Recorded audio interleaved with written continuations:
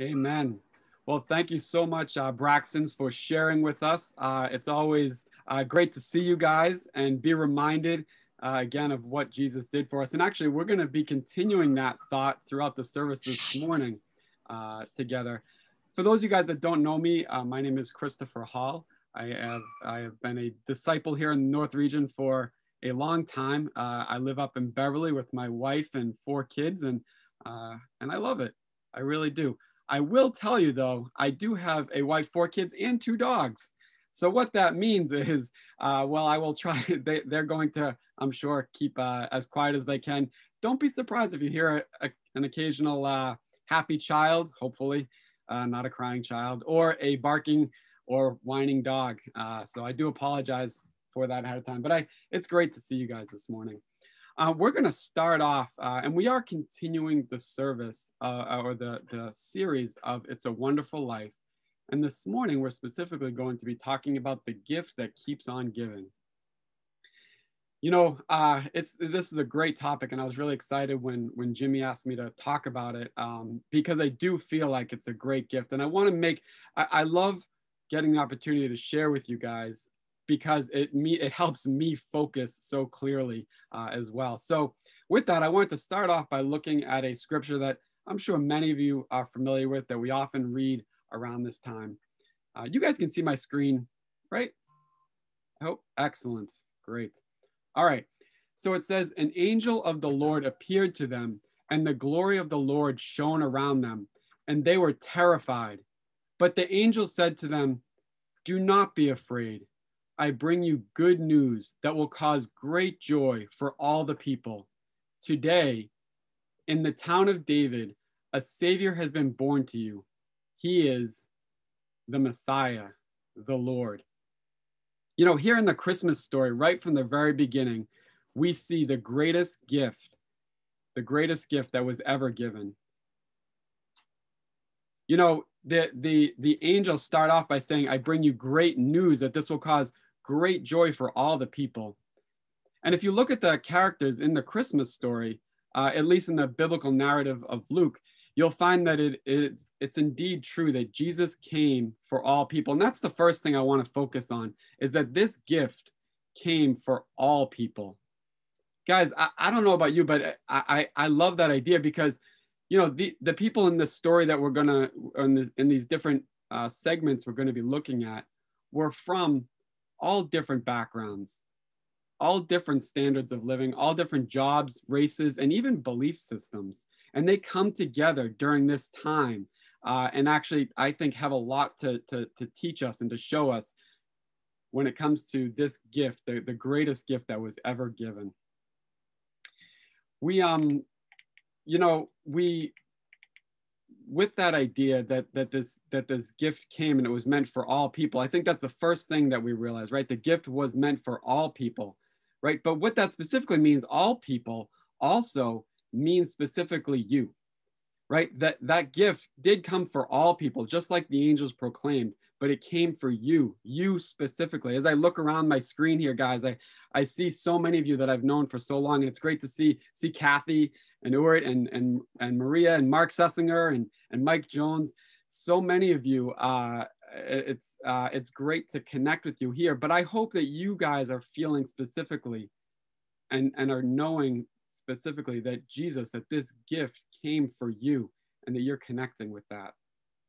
You know, I, I, uh, I told you guys earlier, I have a wife. I have four small kids. My oldest is, is 15. My youngest is eight. Uh, and it's a great time around Christmas, uh, right? And I, I, know many of you are, are parents or were once children. I think most of you were once children. Jimmy, I'm not sure, uh, but but the rest of you, I'm pretty sure you were children once. Um, you know, the the the joy that kids have when they open well actually not even not even when they open the presents right my favorite moment isn't actually opening the presents it's when they first come down to see the presents you guys know what I'm talking about? That moment, like they get all excited the night before, and then they wake up in the morning. And and in my house, it's uh, it's funny. I, I, make them. No one can go downstairs, right? We all have to go downstairs together, and they all have to come into my room, and I I make them wait till a certain time till we all go to, to down together. And it's it's a great memory. I love it uh, every year. So, um, but I, I I love that moment. What I want to do now is we're going to watch a really short video of just some kids Christmas morning. I this is a new way to show videos on here, so I really hope it works uh, so you guys uh, can partake in it. But even if it doesn't work out, I think you all have a memory, or likely many of you have a memory of what it was like to uh, to either be come down as a kid on, on that Christmas morning or to watch your own kids do it. So bear with me for one second as I start this video.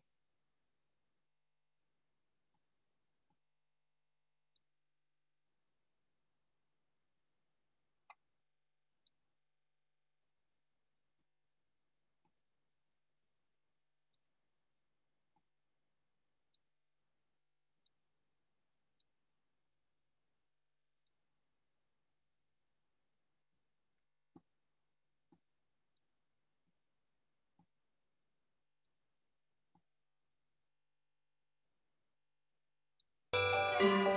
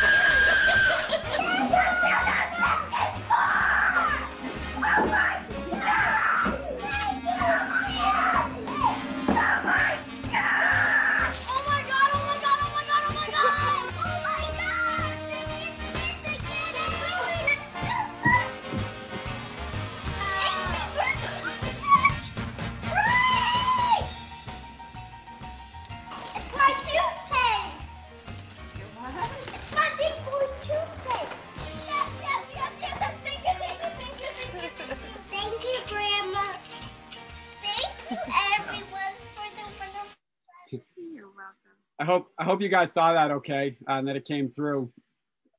Excellent, good. You know, I uh, here. I don't know about you guys, but I, I one of the things I love in that there's two parts that I really love in that little video. Um, it's it's the part where the the kid is so happy he's like giggling. It's the, the little kid he's got the headgear thing on and he's like giggling. He's so excited. Uh, I, I I love that part. I don't know why, um, but it just uh, and then the other kid that you can just see his face. He's just screaming with excitement, like he has no idea what to do with himself, right? No idea what to do with his with his face, with his body, anything. He's just so excited uh, for the gift he was given uh, that morning. And I, I, just think that's an incredible, uh, incredible idea. But, you know, we, we see those kids and how excited they were for, for these toys that, that, that have a shelf life, right? They, they're only going to be good for so long.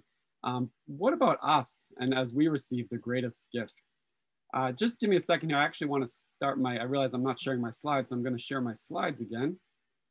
Uh, sorry, guys. I do apologize for this as I'm trying to figure out new ways to help this be more effective for everybody. So let's see. We'll share our screen. There we go. All righty. You guys see the slides again? Yes, okay, great. All right, sorry, it went all the way back. Here we go.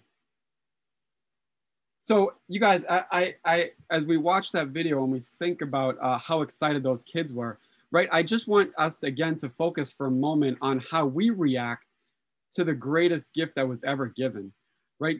Jesus was the greatest gift that we've ever received, that we can ever receive, and that we continue to receive, right? Jesus, it really is the gift that keeps on keeps on giving. You know, I think that the the idea of of Jesus being the greatest gift and and the excitement that we could have and should have for many of us, and I'll speak for me, but for me specifically, it can be drowned out or at least be be blunted by certain fears I have. And you might say, well, what do you mean by fears? Well, here's how I'm defining fear for this morning. It's the emotions and thought patterns that rob us of peace, joy, and hope peace, joy, and hope. I want to partake in that gift. I want to partake in that gift that is given, that was given and continues to be given to me. See, Jesus brings peace, joy, and hope, but my fear, my fear can rob me of that that that uh, that peace, joy, and hope. So, so guys, I'm I'm, I'm going to ask you to reflect now, just for a minute, on on on what's going on in your life. Are you letting fear rob you and take away that joy of receiving that gift. You know, this morning we are going to look at the Christmas story. We're going to look at, at the, some of the events surrounding and the, the event of Jesus' birth. And I want to look at some, some players in that story and look at how they dealt with the, with the possibility of fear, but then how they overcame that fear and had, had peace, had joy, had hope, and how that, what that can teach us today about how we can continue to receive peace, joy, and hope. So, first thing we're going to do is we are going to look at Zechariah and Elizabeth. Now, I don't know how familiar you guys are with the story of Zechariah and Elizabeth. It's really pretty cool. You know, for, the, for those of you that might not know, Elizabeth was the uh, cousin of Mary, and she was pregnant around the same time. And her, her husband, Zechariah, was a, a priest, and they were both righteous before God. It says in Luke chapter 1 that they, that they both walked blamelessly in all the commandments and statutes of the Lord. That's a pretty good thing to have said about you in the Bible. I'd be pretty happy if if if I was recording the Bible as saying I walked blamelessly in all the commandments and statutes of the Lord. But even then, even then, I think they dealt with some, or they at least had the temptation of fear that could have robbed them of the joy of what was going on. You know, they had prayed for a while uh, about having a child and they were they were old at this point and still child childless so much so that that that, uh, that zechariah he went into the temple to perform uh, a, a, very special duty actually and and uh, an angel of the lord came to him and kind of told him some of the things that were going on and and his reply to the angel was well we're old that was that was his reply right he he he had a little bit of doubt there. He's like, is this really going to happen? Can this happen? But you see, here's the the, the really the, the interesting part actually the angel then uh, made it so that he he couldn't speak uh, right up until well right up until the, the birth later on. But it's it was really cool to see that as soon as as soon as the as soon as he expressed his faith and talked about how the the fact that john john would be born uh, that his voice came back you know he had he had this um this this this this that time period of where he couldn't speak. And i, I wonder what that was like. I don't know if, if fear or doubts crept into him at that point. I don't know what his wife elizabeth was feel, feeling during that time. But you know I, I can't help but think that perhaps they were were concerned that some of their some of their mistakes were blocking them. Some of their past mistakes their past sins could have been blocking them. I'm sure that as they were praying during this time for a child they were wondering you know is God hearing me? Why isn't he answering me? Not that God wasn't answering them, but I wonder if that's how that they were feeling. They, they just didn't see the answer. They didn't they didn't hear the answer. You know, I don't know. I, I wasn't there for sure, but I do know for myself when there have been times that I've had when I've messed up or made mistakes in the past, I tend to carry them with me, right? I can think that they're still affecting me, that they're going to affect how God views me. They're going to affect God's willingness to bless me that I that that that they affect my ability to receive his gift. And that's not that's not what the Bible says, guys. We'll we'll look at that even more, but that's not true. But it it happens in my head. And I'm wondering if it can happen in your heads as well. You know, these past fears, these past concerns of, of what's happened in the past can't stop us from receiving that gift. And you know, if you look, if we look uh, on in um, or you know, further on in that story, um, in Luke chapter 1, verse 12, it, it says, An angel comes to them and says, Do not be afraid. Your prayer has been heard. And then they gave birth to, to John, John the Baptist, which was absolutely incredible. John, you know, the Bible says no, and basically no human has been born greater than John, save Jesus. Uh, you know, he that Jesus said that about him. Um, so they they they had this this this they were able to overcome their fear, their possible fears. And instead, what they had is they had they had peace. I think Jesus was able to, you know, th- this this story, this what was going on here, they were able to have great peace. you know, it, it really is a, a wonderful life. We can have peace, peace from our past mistakes, peace from our, our past, uh, the fears that may drive us, the fears that could have occurred in the past no longer have to haunt us. Um, we can have peace about the past. Guys, that's the gift that keeps on giving. That's the gift that you have the ability to receive, that I have the ability to receive. And I want to take hold of that during this Christmas time. And I would encourage you to do everything you can to take hold of that during this Christmas time. Let's go on. We're actually going to, uh, to look at Mary and Joseph a little bit here too, because I think they had the opportunity to let fear control them and not receive the gifts, the gift of, of Jesus, the gift of peace, joy, and hope. Um, you know, I, uh, I don't know uh, if any of you guys have uh, nativity scenes, but I was, um, I was laughing because I uh, a friend sent me this this uh, this picture that I that I thought was funny, and I wanted to share with you guys. Um, but it's it's of a oh that's not what I meant to do. Wrong click. There we go. So there's a uh, let's see if I can. Oh, you know what? I just clicked out of it. Oh, we won't look at it. But you know, there, there's a there's a funny uh, nativity scene where where it's got all these uh, superheroes in it, and this this little kid set it up. Um, and it, and it, you know because that's what he was focused on. That's what he was thinking about at that time was all these superheroes. And you know obviously that's not what we do right now. We're going to focus very much on jesus. So back to mary and joseph. Um you know they were they were uh sorry my screen is see see you click the wrong thing guys and everything just just goes the wrong way all right let's see here we go so Mary and Joseph, Mary, Mary and Joseph, you guys are probably familiar with the story, but they were young, likely teenagers. Uh, shout out to all you teens out there. It's uh, it's but they they they also they did that in in Matthew chapter one. It says that the um, the angel came to them and said said greetings, O favored one, the Lord is with you. Again, pretty cool. Like God was showing His support uh, for them for sure, right? But even with that, even with that Mary, after the, the angel came and spoke to Mary, right? We see in Luke chapter one that Mary was greatly troubled at his words and wondered what kind of greeting this might be, right? Mary, even, even though she was given this, this, this, what I would consider an overwhelming vote of support uh, from God and from the angels, I, she was still troubled at his words. She wondered what was going to happen here in the future. And you know, if I take a moment to meditate and, and think about it, I think I can understand why. She was young, probably a teenager.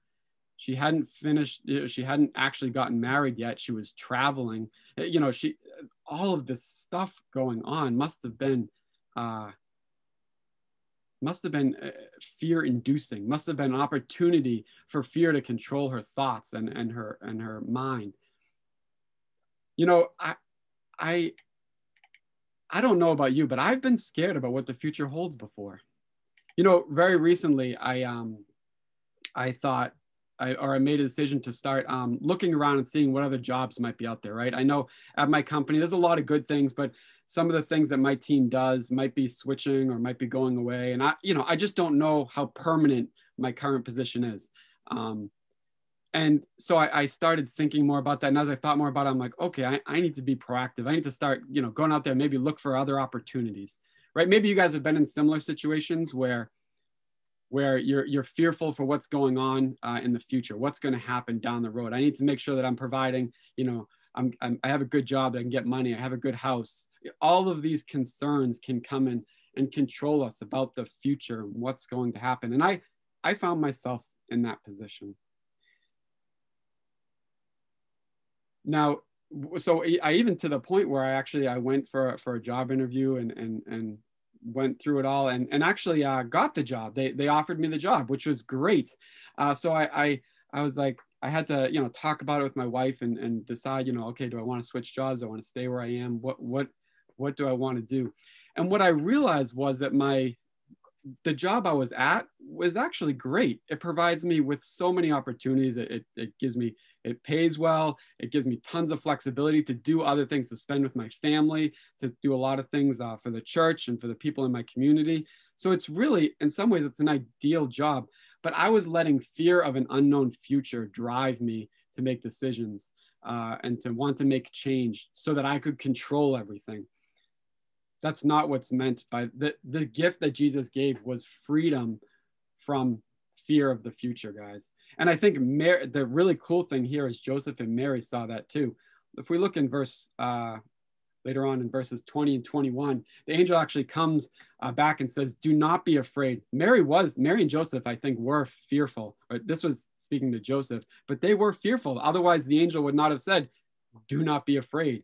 So he says, Do not be afraid to take Mary home as your wife, because what is conceived in her is from the Holy Spirit. She will give birth to a son, and you are to give him the name Jesus, because he will save his people from their sins what I think Mary and Joseph did come to realize, and what I've had to realize, is that Jesus brings the gift. Sorry, Jesus brings the gift of hope. See, I don't have to be fearful for the future. Instead, the gift that Jesus brings is hope. I can be hopeful for the future. I don't have to try to control it and worry about what's coming. Instead, I can be hopeful because I have Jesus. I've received that gift. Therefore, hope is available to me not fear. I'll ask you guys to think about the same things in your lives. Are you letting fears control you? Are you letting uh, worries about what the future might hold, what the future might hold, control you? Or are you receiving the gift Jesus gave of hope and hoping in Him and that He has the the, the plan for the future? You know, we're going to look at uh, one more story. How are we looking on time? Good. 1034. Excellent. We're going to look at uh, one more story here. Um, and that is the shepherds. I want to look at the shepherds. I think uh, I, I, I don't only recently, guys, have I realized how incredible including the shepherds in this story really is. Uh, and it actually was driven home to me. Uh, it's funny. It was something I was thinking about and studying uh, two weeks ago. And then um, Charlie gave a great uh, midweek this past Wednesday. So thank you, Charlie. I saw you out there earlier. Can't see your face at the moment.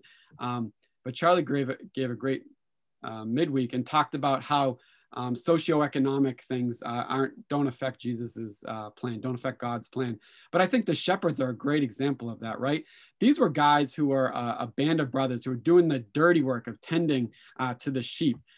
Um, these were this was not a job that that was like uh, you know most people aspired to they would work long hours they, they didn't necessarily get paid great they were probably lower middle class in the society um, but it this story includes them uh, again it, this gift is for all people.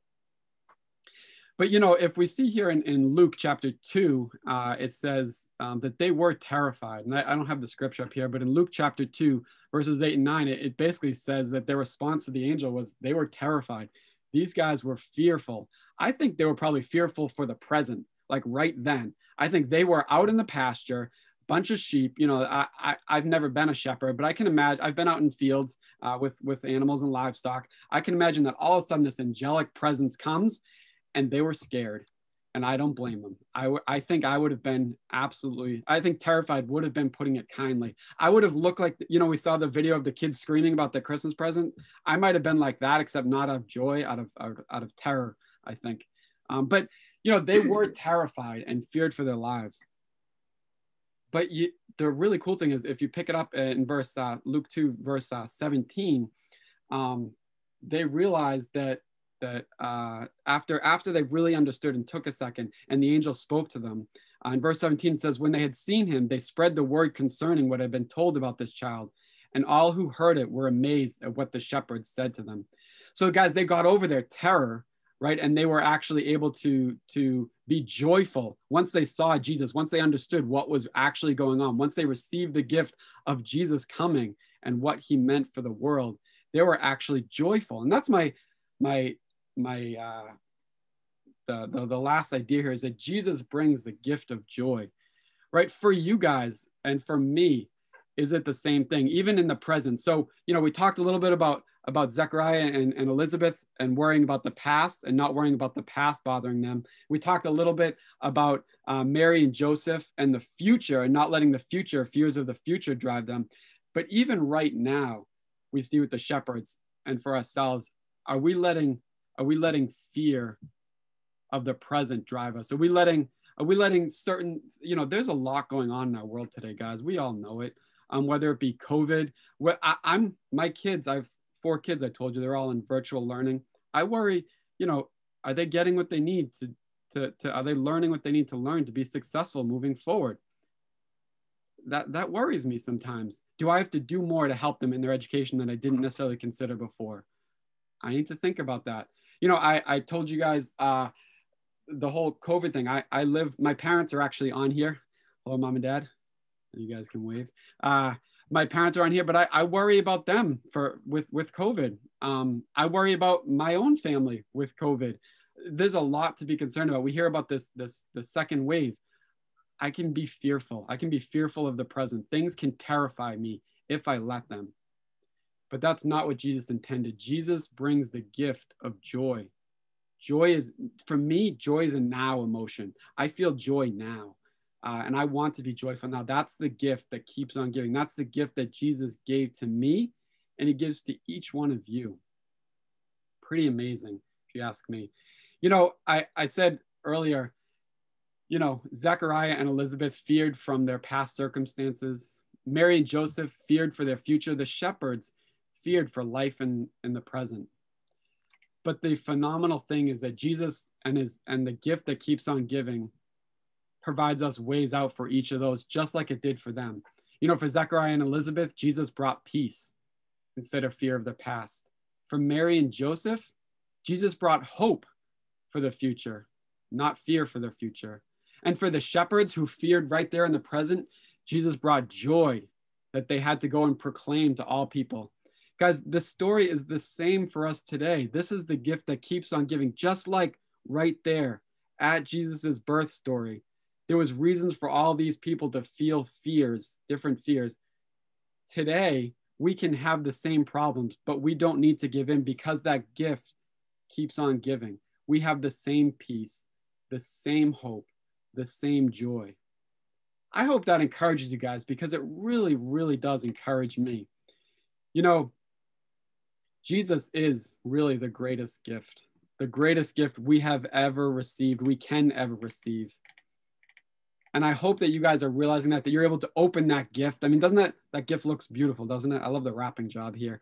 Uh, but it's, it's, it's, it's no different, much like those kids on the video we watched at the very beginning, how excited they were uh, to open their presents. I, the more I meditate, the more I think about Jesus and his gift of peace, joy, and hope, and how much I need that gift, how much I desperately need that gift. I'm more and more excited that I get to open it. I get to open it today. I get to open it tomorrow. I get to open it December 25th and, and, and the whole rest of this year and into next because it is the gift that keeps on giving.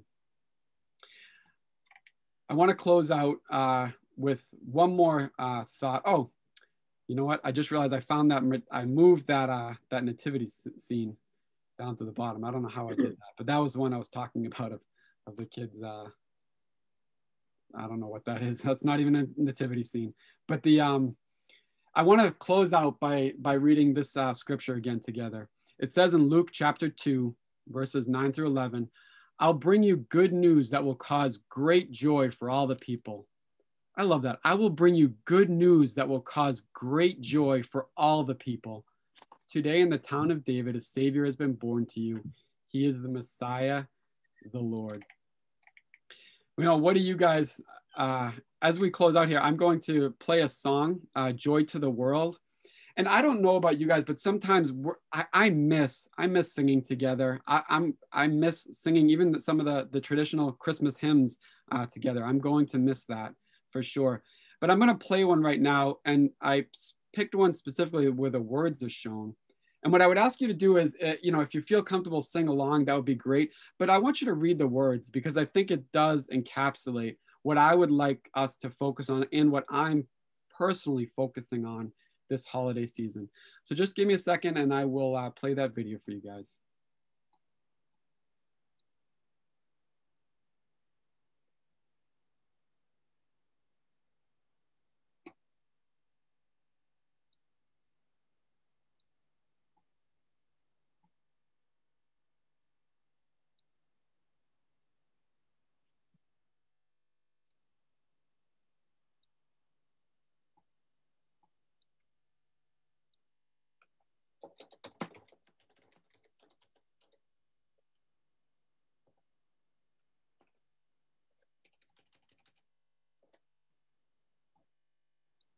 57, 58, 59, 60. That's four minutes. I could do five.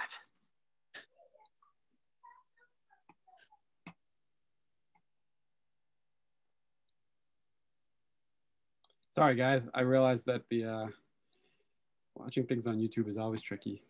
Here we go.